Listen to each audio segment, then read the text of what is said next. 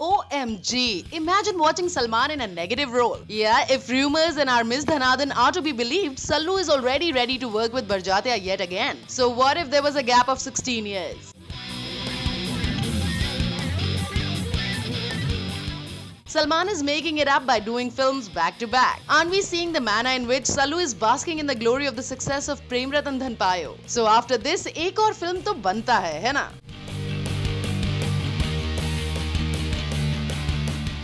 As for Bhai, all is well and he wills it that way. Prem Ratan Dhan Payo saw Salman in a clean role and now Sallu wants to change his image in a Barjatya flick. So exit Prem the good one and enter Prem the bad one.